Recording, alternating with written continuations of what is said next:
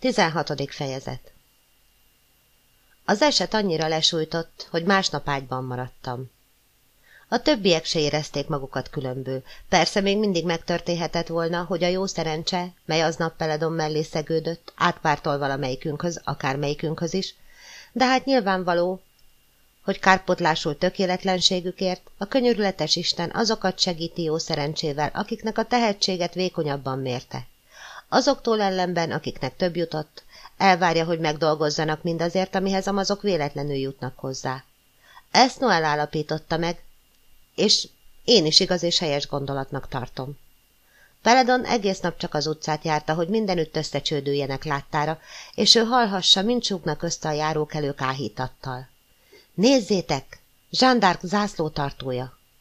S mivel úton útfélen mindenkivel szóba állt, megtudta néhány hajóstól, hogy a folyó túlsó partján készülnek valamire az erődítményekben.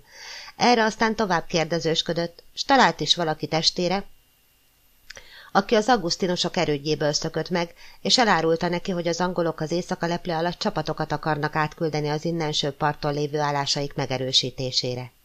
Azt tervezik ugyanis, hogy amint Dunois a város aláír a sereggel, megtámadják és játszva szétverik őket, hiszen a boszorka nem lesz közöttük, s távol létében a franciák csak úgy fognak viselkedni, mint bármikor a múltban.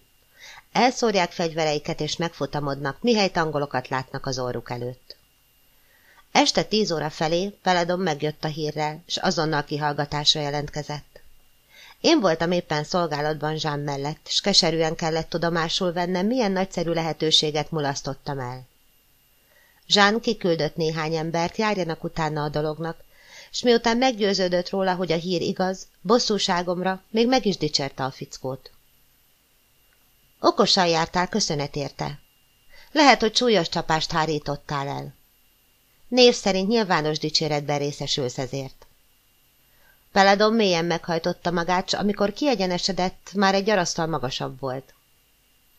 Amint dagadó mellel kivonult a teremből, lopva rám kacsintott, s odasúgta nekem szegény meggyalázott versem refrényét. Ó, könnyek, ó, könnyek, ó, drága bús könnyek.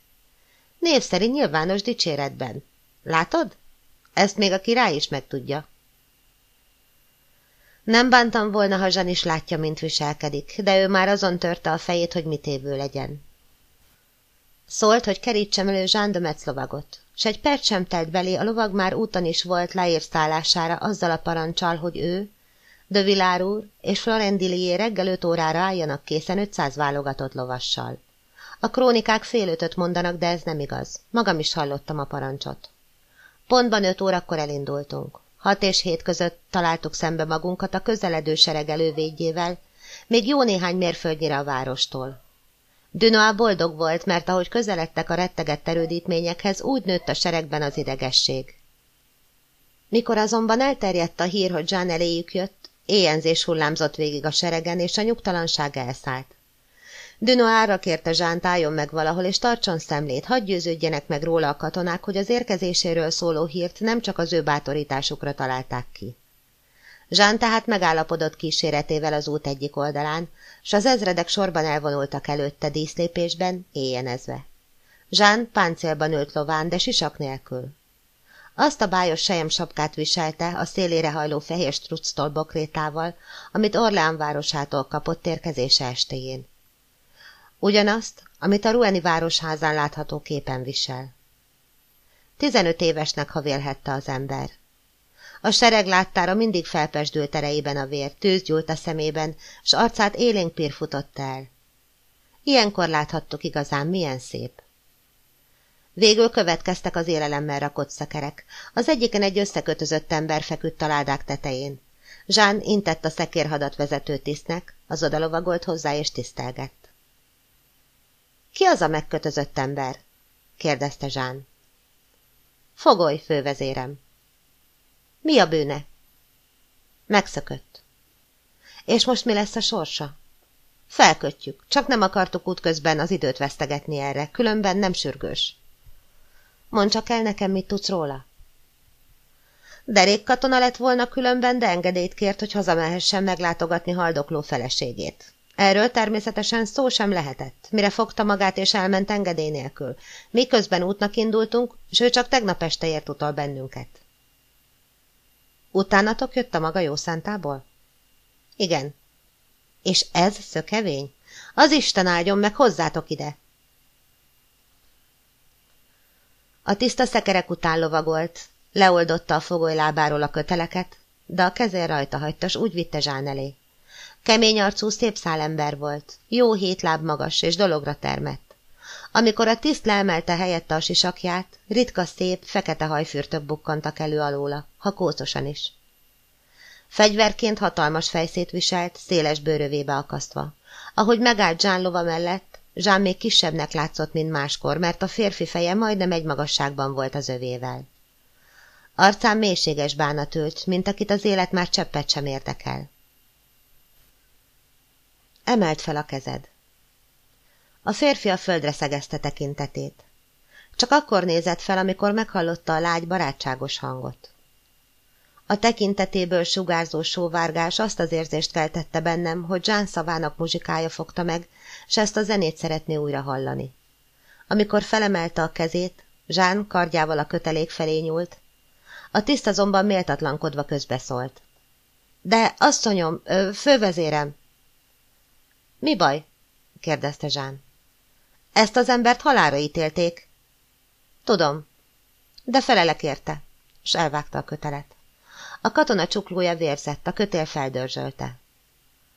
Ó, szegény, mondta Zsán, írtózom a vértől, s összeborzatta, hogy oda nézett. De csak egy pillanatra. Adjatok hamar valamit, amivel bekötözhetem a csuklóját. De fővezérem, szólt közbe a tiszt megint, ez mégsem illik. Mindjárt hívok valakit, aki megcsinálja. Ugyan kit? De parle Dieu! Messze kellene menned, míg találsz valakit, aki jobban ért nálam. Kötöztem én már éppen eleget embert és állatot. Összekötözni is jobban tudtam volna, mint ti. Ha én kötözöm össze, nem vág húsába a kötél. A katona némán tűrte, hogy Jean bekötözze, csak néha pillantott fel az arcába lopva, mint az állat, amikor olyas valaki becézgeti, akitől nem szokta meg, és szimatolva próbálja összeegyeztetni a tettet a cselekvővel. Mi meg közben teljesen megfeledkeztünk a porfelhőkben tovavonuló újongó seregről, úgy lekötötte figyelmünket a kötözés. Nyújtott nyakkal bámultuk, mintha ennél izgalmasabb dolog még nem esett volna a világon. Nem egyszer észrevettem már, hogy a legjelentéktelenebb apróság is lebilincseli az embert, ha valami szokatlan talál benne. Egyszer például tanúja voltam Paltjéban, amint két püspök, meg vagy tucatnyi híres komoly tudós csoportba verődve figyelt valakit, aki cégért festett a boltja fölé. Lélegzett visszafolytva bámulták, és észre sem vették, hogy elerett az eső. Amikor azután végre észrevették, nagyot sóhajtottak, körülnéztek, és ugyancsak meglepődtek, hogy másokat is látnak ott, hiszen azt sem értették, hogy maguk hogyan kerültek oda. De hát, látjátok, ilyen az ember, kiszámíthatatlan és ezért olyannak kell elfogadni, amilyen. Tessék, mondta végül Zsán elégedetten. Más se tudta volna jobban megcsinálni, talán még így sem. Hanem most már mondd el nekem, mit vétettél. Erre megszólalt végre az óriás. Mindent elmondok neked, őrangyalom. Előbb meghalt az édesanyám. Azután három apró gyerekem, egyik a másik után, két év sem telt belé. Éhínség járt felénk. Mások se voltak szerencsésebbek. Isten rendelte így. Láttam meghalni őket. Én fogtam le a szemüket. Én temettem el őket. Amikor szegény feleségemre került a sor, kértem, engedjenek haza hozzá. Hozzá, akit annyira szerettem, aki mindenem volt. Térden állva kértem, de nem eresztettek. Hát hagyhattam elpusztulni szegény magára hagyottan egyedül? Hagyhattam volna meghalni abban a hitben, hogy már én se törődöm vele? Ő se hagyott volna engem, ha én fekszem ott. Tudom, hogy még az élet árán is eljött volna, ha csak mozdítani tudja a lábát. Biztos vagyok benne, hogy eljött volna, akár tűzön vízen át is. Így hát én is mentem.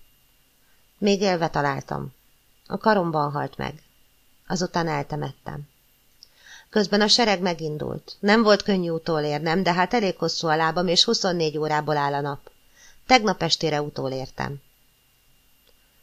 Zsán erre tűnődve, mintha csak felhangon gondolkoznék, azt mondta. Ez hihetően hangzik. S ha igaz, amit mondasz, ez egyszer megbocsátható, hogy megszekted a fegyelmet. Azt hiszem, ebben mindenki egyetért velem. Ha igazat mondasz, de hát honnan tudhatnám? Hirtelen a katonához fordult, és azt mondta neki. Szeretnék a szemedbe nézni. Nézz föl rám. Tekintetük találkozott, s akkor Zsán így szólt a tiszthez. Megkegyelmezek ennek az embernek. Mehetsz az utadra, járj szerencsével. Azután újra a katonához fordult. Tudtad, hogy halál vár rád, ha visszatérsz a sereghez? Tudtam. Akkor miért jöttél vissza? Éppen azért, felelte az ember nyugodtan. Amióta meghalt a feleségem is, senkim, semmim nem maradt, akit még szeressek. Hát Franciaország? Ez a föld minden gyermekének édesanyja. Aki itt született, annak mindig van még kit szeretnie. Életben maradsz, hogy szolgált Franciaországot. Halálomig szolgálni foglak téged. Harcolj Franciaországért! Halálomig harcolni fogok érted. Franciaország katonája légy. Halálomig a te katonád leszek. Maradj mindvégig hű ehhez a földhöz. Mindvégig hű maradok hozzád, egész lelkemmel, ha ugyan van lelkem. S minden erőmmel, mert az azután van. Hiszen újra élek, pedig egyszer már elhagyott az élet. S nem volt miért élnem, de most ismét van. Nekem te vagy Franciaország, te vagy az én Franciaországom, s más nekem nem is kell. Zsán meghatódottan elmosolyodott, a férfi komoly, vagy talán mondhatnám ünnepélyes lelkesedésén, hiszen sokkal több volt ebben, mint egyszerű komolyság, azután ráhagyta. Jó, legyen kedved szerint. Mi a neved? Általában törpének szólítanak, felelte az ember egyszerűen komolyan. De azt hiszem inkább csak tréfából. Zsán elnevette magát. Én is azt hiszem, és az a rettentő fejsze mire jó? A katona erre is komolyan felelt, úgy látszik a komolysága természetéhez tartozott. Arra, hogy egyeseket Franciaország tiszteletére neveljen. Sok leckét adtál már vele? kérdezte Jean nevetve. Hát, elég sokat. És használt a növendékeknek? Meghiszem azt, tökéletesen elcsendesedtek. Mindjárt gondoltam. Szívesen állnál kíséretembe futárnak, testőrnek vagy valami hasonlónak? Ha tehetném, így lesz. Kapsz majd egy vértet, és folytathatod oktató tevékenységedet. Választ egyet a kötőféken tartott lovak közül, és maradj mellettem, ha tovább megyünk. Így került törpe közénk, és derék cimboránk lett. Zsán első látásra megbízott benne, és nem tévedett. Páratlanul hűséges volt, és ha rászabadult az ellenségre, úgy csapkodott a fejszéjével, mint három ördög. Akkora volt, hogy Peledon majdnem eltörpült mellette, pedig ő sem volt apró termetű. Őszintén szerette társait, tehát azok is szerették őt. Minket, fiatalokat is hamar megkedvelt, meg a két lovagot is, s általában mindenkit, akivel összekerült.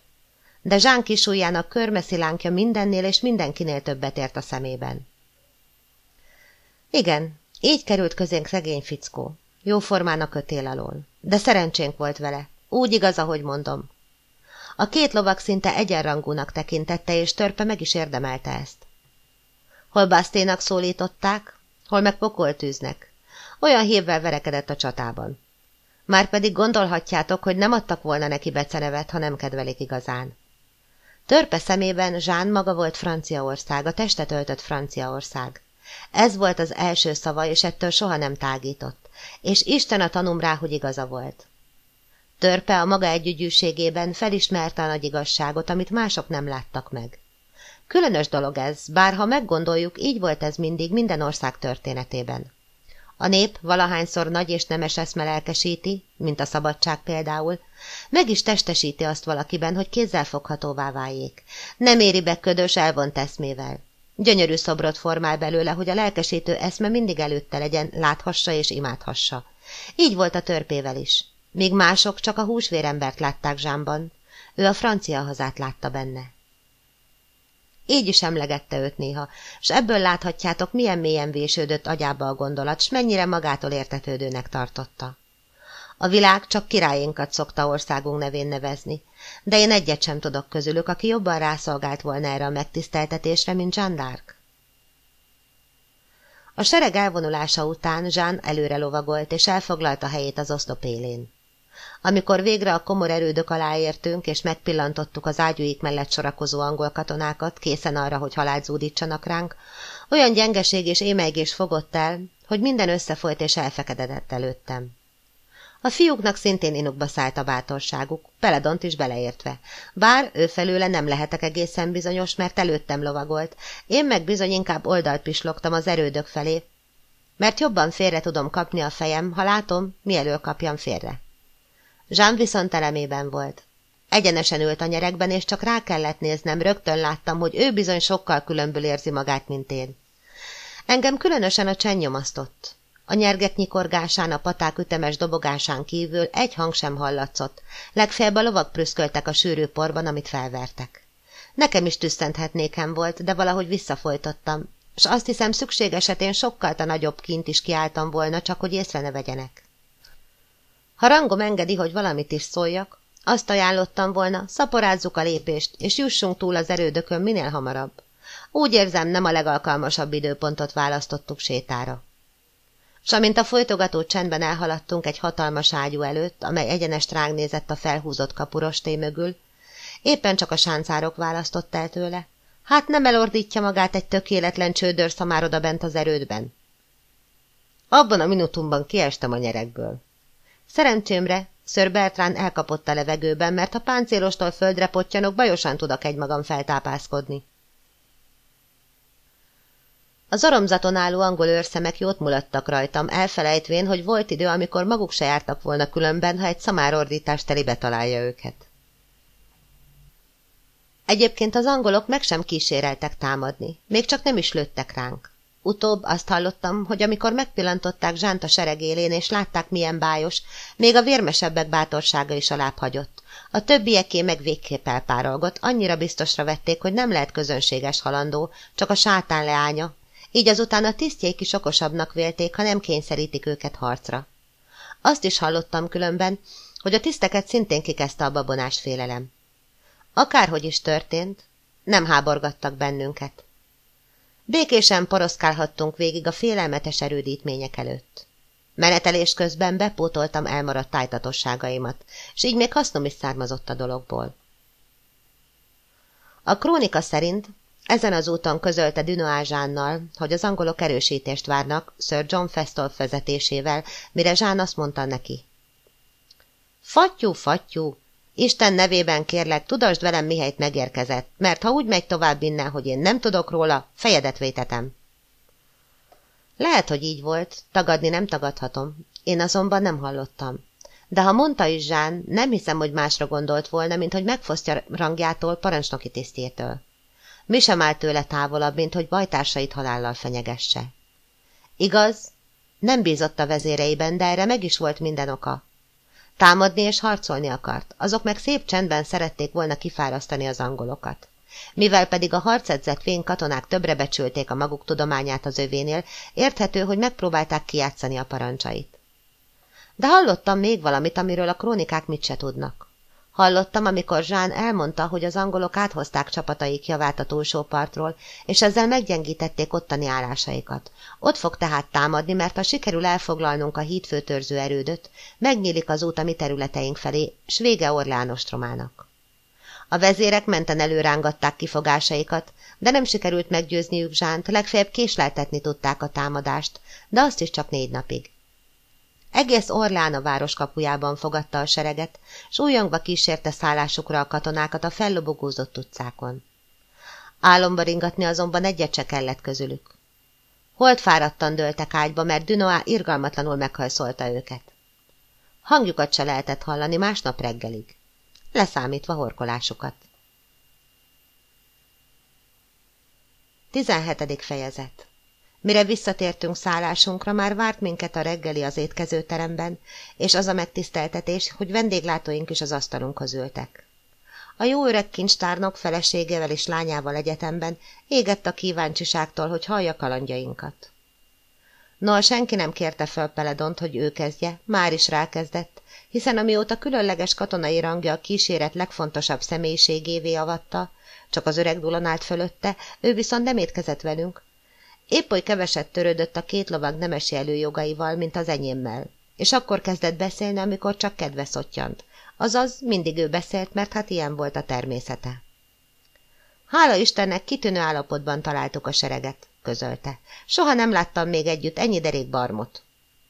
Barmot? csodálkozott Ketrin. Majd én megmagyarázom, hogyan gondolta, szólt közben Noel.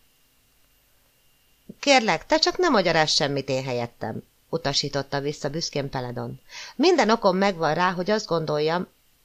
Látjátok? mondta Noel. Valahányszor azt képzeli, hogy oka van valamit gondolni, azt hiszi, hogy már gondolt is valamit, de csak hiszi. Nem is látta a sereget, egész úton figyeltem, semmit nem látott, csak a maga régi bajával volt elfoglalva. Az mi? kérdezte Ketrin. Óvatosság, szóltam bele én is, hogy segítsek Noelnek. Ez azonban nagyon szerencsétlen megjegyzés volt, mert Peledon tüstént rávágta. Te csak ne szóld le a mások óvatosságát, amikor te magad még a szamárbőgésre is kiesel a nyerekből. Erre nagy nevetés támadt. Én meg restelkedhettem elhamarkodott szellemességemért. Csak hogy nagyon tévedsz, mondtam neki. Ha azt hiszed, hogy azért estem ki a nyerekből, mert az a szamár elbődölt. Egyszerűen erőt vettek rajtam az érzelmeim. Jó, így is nevezhetjük, ha akarod. Te minek neveznéd Sir Bertram? Hát, azt hiszem, akárminek nevezzük is, megbocsátható. Végtére is, amikor ökörre kellett menni, mind megálltátok a helyeteket. Nincs okotok szégyenkezni. De csak úgy sétálgatni a halál torkában, tétlenül, néma csendben, nesztelenül, hát bizony gyötrelmes állapot. Én a te helyedben nevén nevezném ezt az érzelmet, de Conti. Nincs mit szégyenkezni rajta. Őszinte és értelmes beszéd volt. Ennél többet nem kívánhattam, inkább még örülhettem, hogy a lovak kisegített szorult helyzetemből. Megvallom, féltem, mondtam. És köszönöm az egyenes beszédet. Ez a legbecsületesebb megoldás, szólt az öreg kincstárnok. Derék fickó vagy, fiam. Erre már végképp felélegeztem, s amikor a szép Ketrin is hozzátette, hogy ő is így gondolja, szinte már örültem, hogy az imént ilyen kínos helyzetbe kerültem. Félelmetes csend volt, jegyezte meg Metz. Amikor ez a szamár elbődült, és mi tömör sorokban vonultunk, alig hinném, hogy lett volna közöttünk bátrabb katona, csak egy is, akit nem fogott el ugyanaz az érzés. Barátságos arccal körülnézett, s ahogy kérdő tekintete találkozott a többiekével, azok sorban mind rábólintottak. Még Peledon is igenlően biccentett, s ez ugyancsak megnövelte az zászlótartó becsületét. Valóban derék dolog volt tőle. Igazán nem hittem volna, hogy minden gondolkodás nélkül igazat tudjon adni, arra meg éppenséggel nem számítottam, hogy ebben az esetben igazat mondjon, akár gondolkozik rajta, akár nem. Alig, hanem azért tette csak, hogy még kedvezőbb színben tűnjék fel házigazdánk előtt. Azt hiszem, szólalt meg az öreg kincstárnok, egy ilyen csendes elvonulás az erődök alatt legalább annyi bátorságot kíván, mint kísértetekkel találkozni a sötétben. Mit gondol erről a mi zászlótartónk? Őszintén szólva nem tudom, mit mondjak, uram. Sokszor eszembe jutott már, hogy szívesen szeme közé néznék egy kísértetnek, ha... Igazán? Kiáltott fel az ifjú hölgy. Nálunk van egy, akarja látni? Olyan őszintén és kedvesen kérdezte ezt, hogy Peladon nem mondhatott rá mást, mint igent.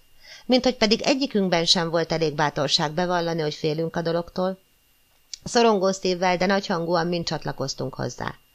Kedrin tapsolni kezdett elragadtatásában, s a szülei is nagyon hálásak voltak, mondván, hogy a házukban lakó kísértetek temérdekbajt és bosszúságot okoztak eddig nem csak nekik, hanem már az őseiknek is, de még senki nem akadt, aki hajlandó lett volna elébük állni és megtudakolni, mi bántja őket voltak éppen. Hogy a ház gazdája azután kiengesztelhessék szegény lelkeket, és biztosíthassák örök nyugalmukat.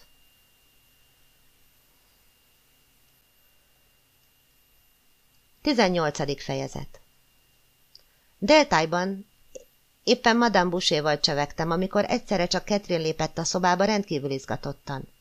Siessen! Zsán a szobámban szundikált, majd hirtelen felriadt, és azt kiáltotta. Francia vér folyik, hol a kardom, hozzátok a kardomat! Az az óriás állt éppen ört az ajtóban. Mente hívta Dulant, az meg segített Zsánnak magára ölteni a páncélját, amíg én meg az óriás értesítettük a kíséret tagjait. Fusson hát utána, és vigyázzon rá. Ha igazán csata lesz, magára ne hagyja. Ne engedje belekeveredni, semmi szükség erre. Elég, ha tudják a katonák, hogy a közelükben van, és figyeli őket. Ne engedje Zsánt harcolni, nagyon kérem. Már futottam is, és csak annyit jegyeztem meg gúnyosan, mert gúnyolódni mindig tudtam, sőt némelyek szerint egészen különös tehetségem volt ehhez. Mi sem könnyebb ennél, ezt igazán megígérhetem. A ház túlsó végében találtam rá zsára, amint már páncélban sietett kifelé. Franciák vérét ontják, szólt rám. És ti nem szóltok nekem? Igazán nem tudhattam, sehol semmi jele harcnak, mindenütt csend. Majd mindjárt hallasz zenebonát. Felelte és eltűnt. Igazat mondott. Mielőtt ötig számolhattam volna, közeledő tömegzúgása, lovagdobogása, harsány vezényszavak verték fel a csendet.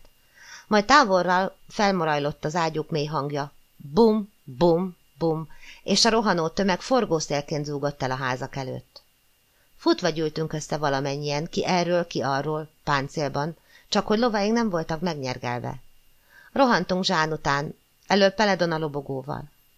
A hullámzó tömegben polgárok és katonák keveredtek. Vezérük nem volt. Amikor megpillantották Zsánt, éjjenezni kezdtek. Zsán meg oda kiáltotta. Lovat! Hamar egy lovat! Egy tucat nyeregált tüstént rendelkezésére, és amikor felkapaszkodott az egyikbe, ezernyi hang kiáltotta. Utat! Utat az orláni szűznek! Először mondták ki az emberek ezt a halhatatlan nevet, és én hálát adok Istennek, hogy ott lehettem és hallhattam. A tömeg ketté vált, mint a vörös tenger habjai, és Zsán úgy szállt el közöttük akár a madár. Előre, bátor franciák! kiáltotta. Kövessetek!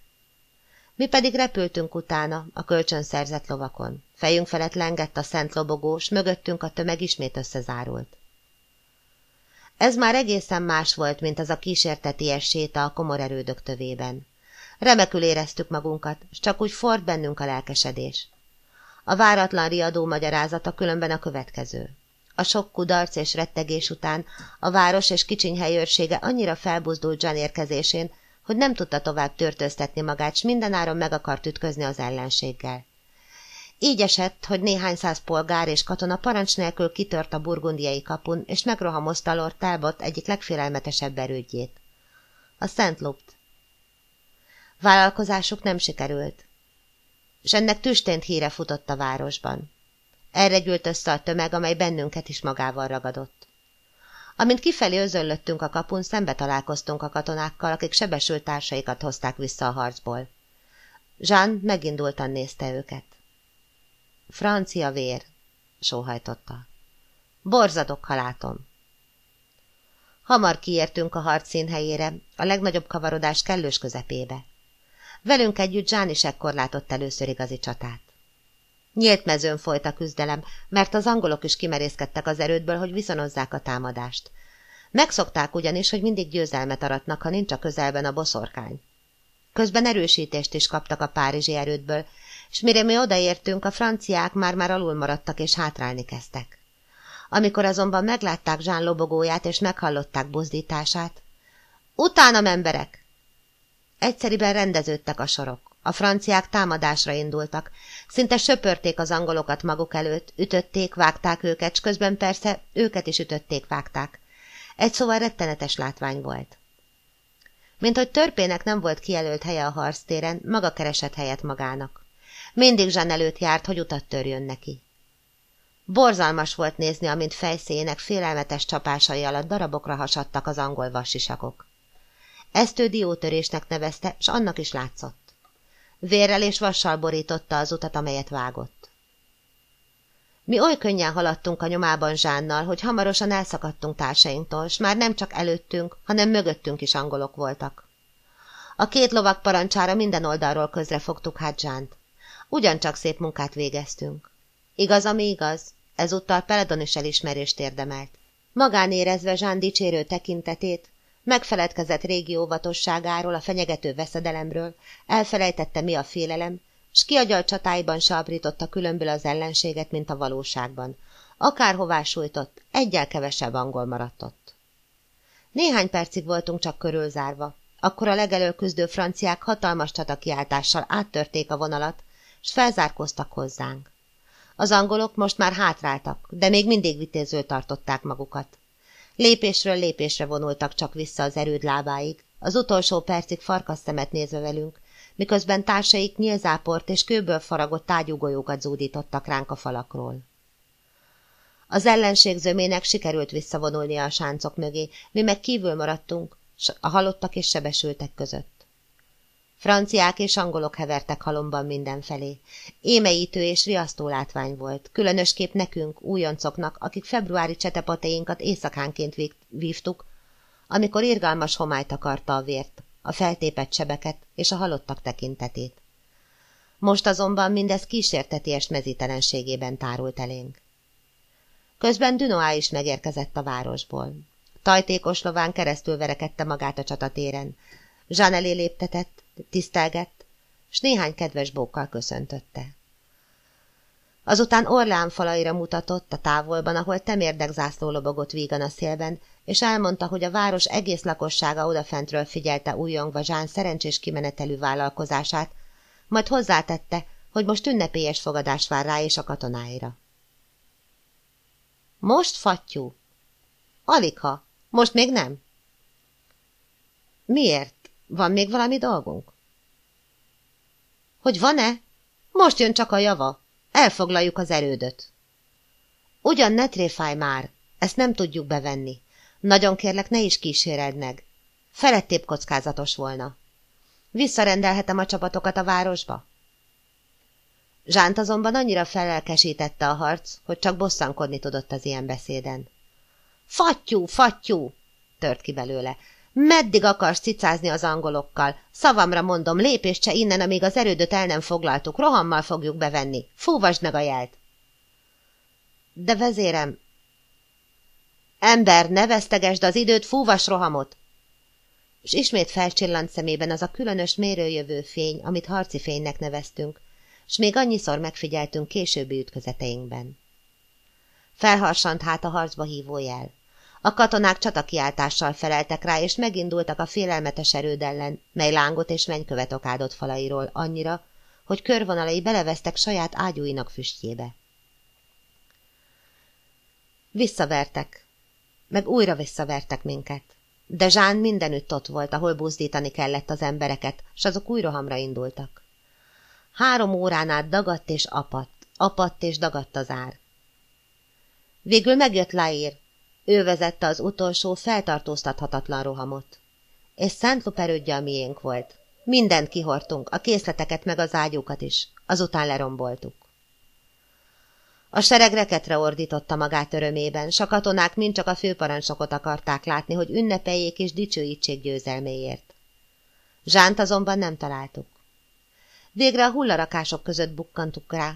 Itt üldögélt, és arcát a kezébe temetve zokogott hiszen mégiscsak fiatal lány volt, és hős szíve is olyan, mint a fiatal lányoké.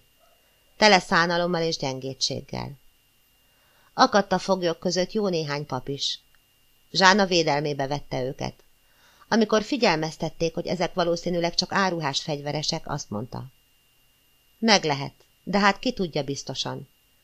Isten szolgáinak köntösét viselik, s ha csak egy is van közöttük, aki joggal viseli, Inkább fussanak a bűnösök is vele, sem hogy egy ártatlan ember vérével szennyezzük be a kezünket.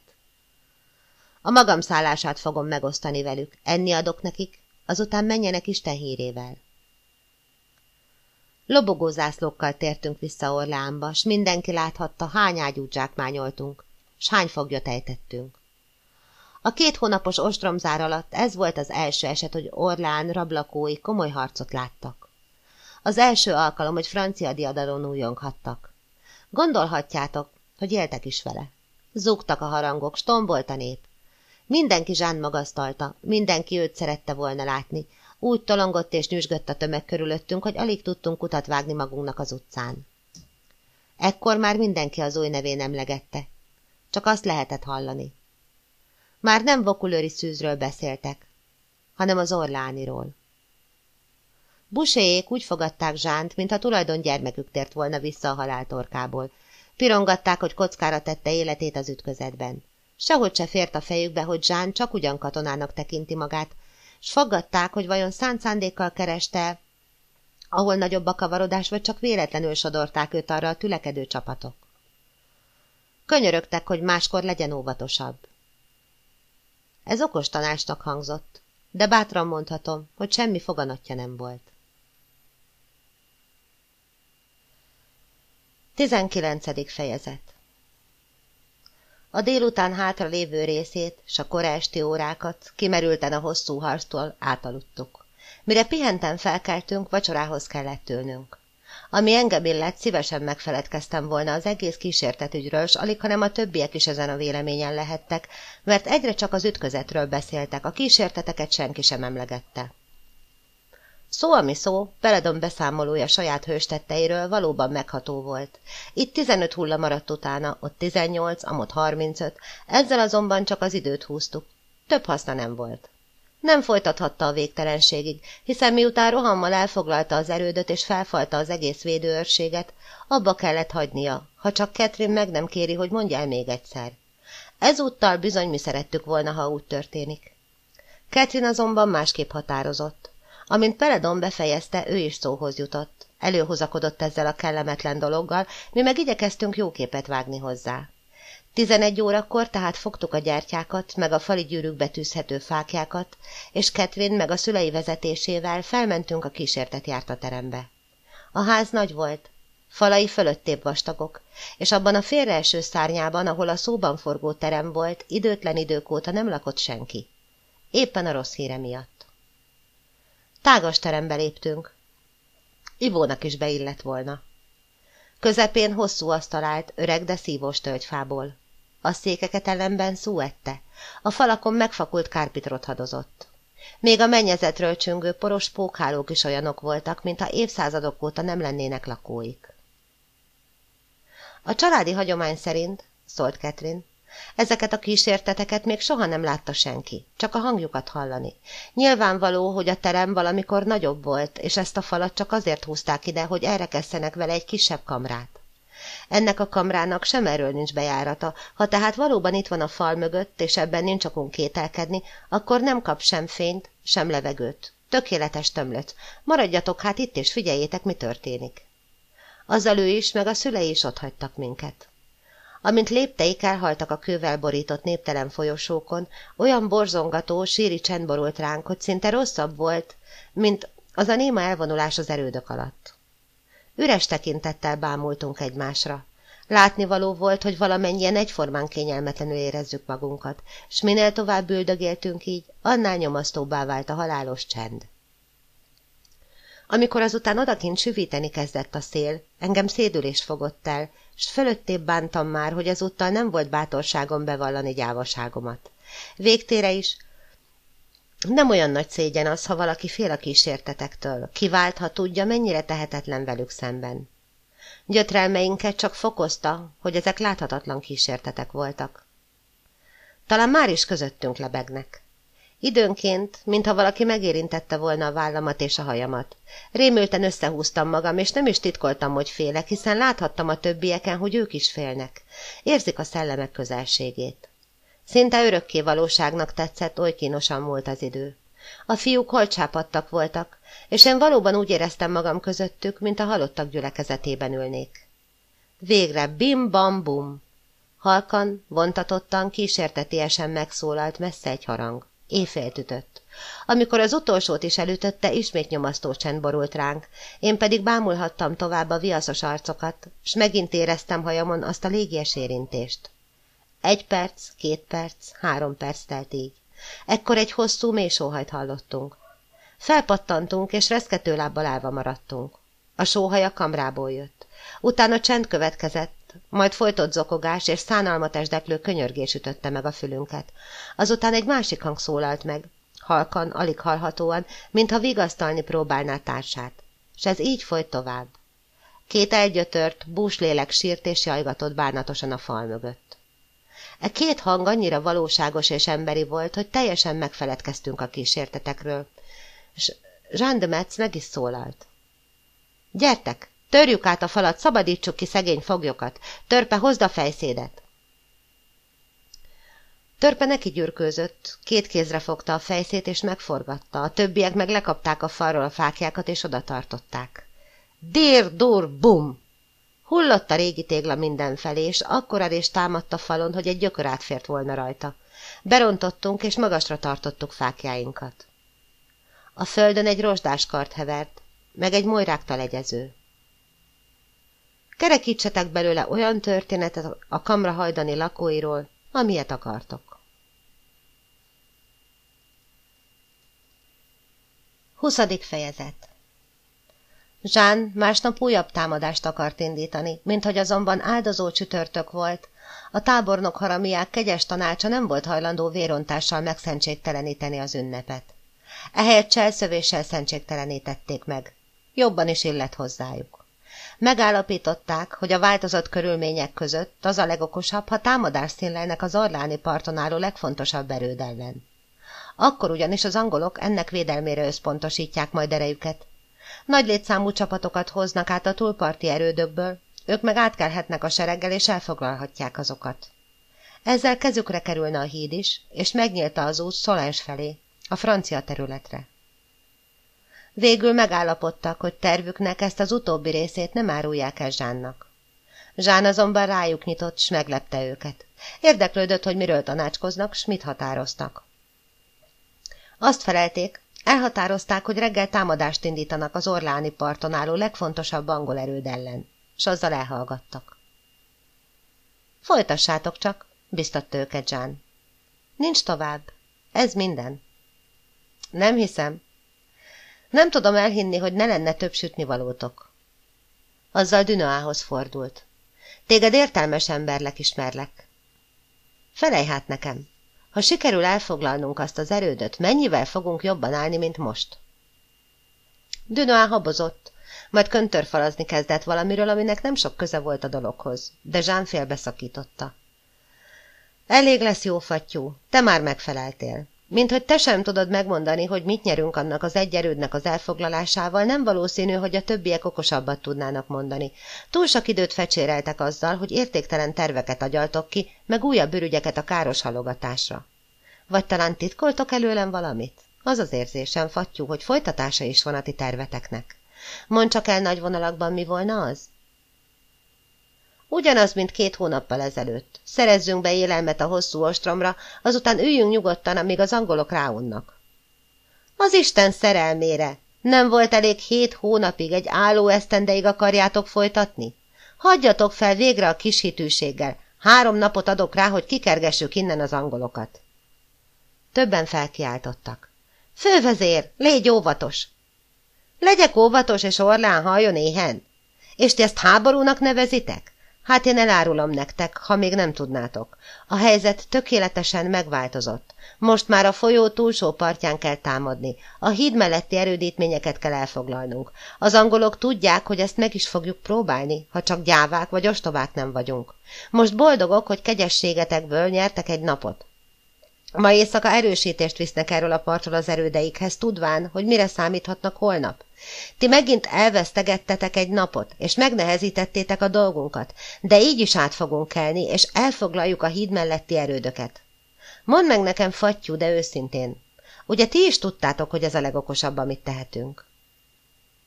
Dunois elismerte, hogy a haditanács is kívánatosnak vélte ezt a megoldást, de nem tartotta keresztül vihetőnek, aztán megpróbálta tisztára mosni magát és társait, mondván, hogy alapos megfontolás után se látnak más lehetőséget, mint azt, hogy az ostrom elnyújtásával kifullasszák az angolokat, és éppen ezért meglehetős aggodalommal hallgatták Zsán elhamarkodott kijelentéseit. Értsd meg, mondta Dunois, mi biztosak vagyunk benne, hogy a legjobb várakozni, te meg rohammal akarsz bevenni mindent. És nem csak akarok, hanem fogok is. Halljátok hát a parancsomat. Holnap hajnalban támadást indítunk a déli parton álló erődök ellen. És rohammal vesszük be őket? Igen, rohammal. Ekkor lépett a terembe Laír. Vezéri pálcámra, kiáltott fel.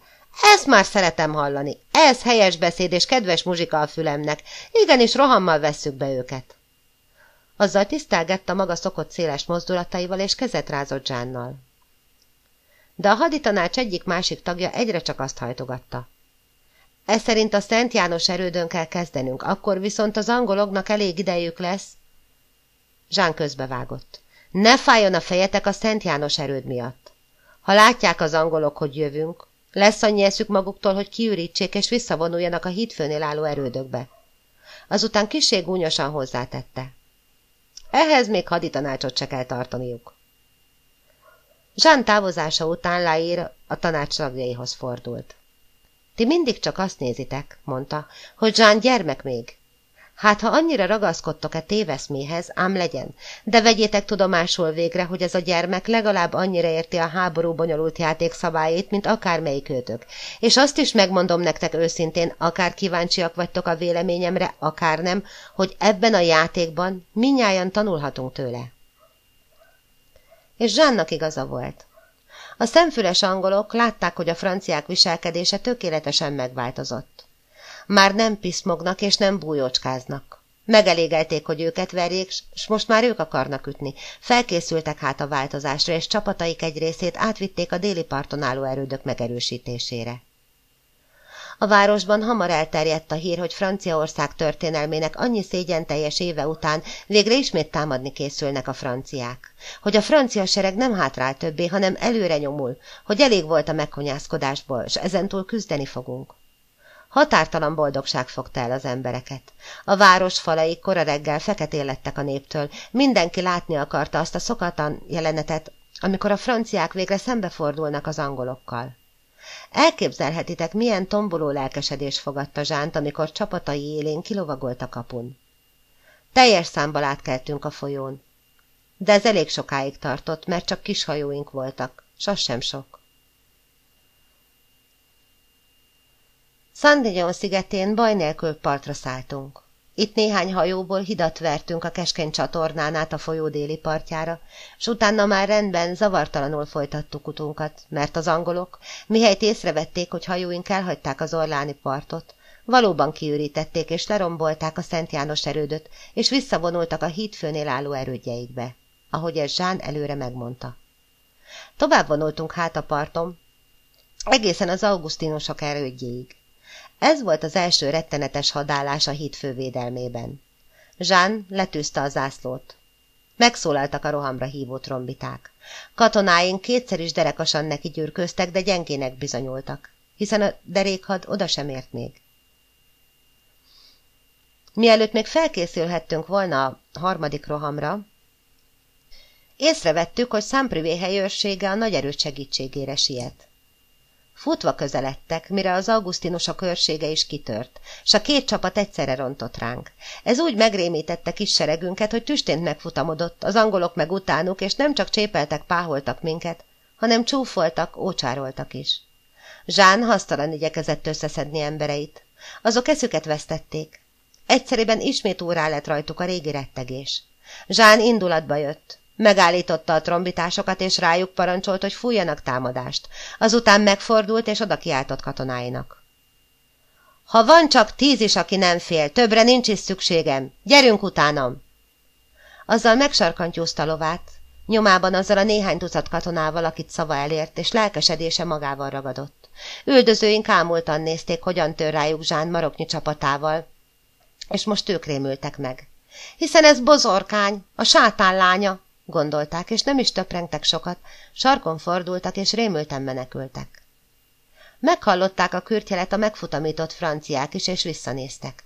Amikor látták, hogy Jean lobogója éppen az ellenkező irányban száll előre, az ellenség meg hanyat homlok rohan előtte, visszatért a bátorságok, és utánuk futottak.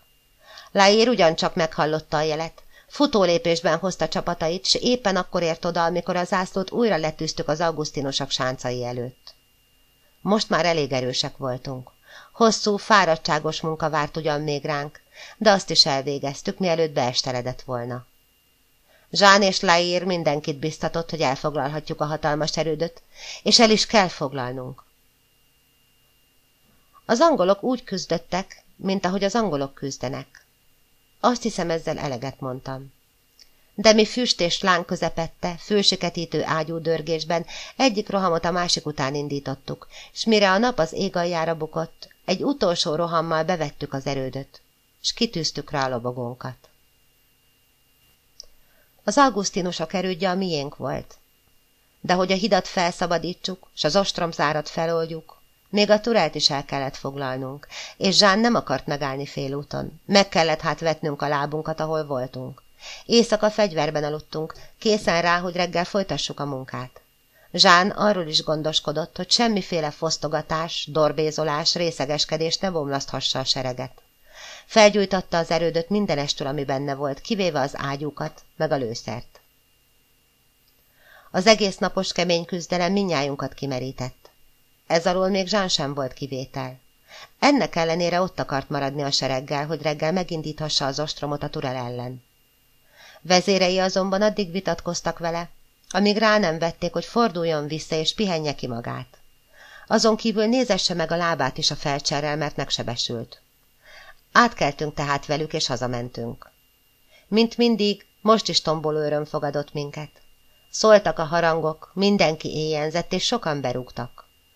Akár harcba indultok Orlánból, akár visszatértünk oda, az mindig jó ok volt, hogy a város mámorban ússzék. Így hát a mámor szinte állandósult. Az elmúlt hét hónapban úgysem volt alkalmuk hasonló felfordulásra. Most hát igyekeztek pótolni a mulasztásukat.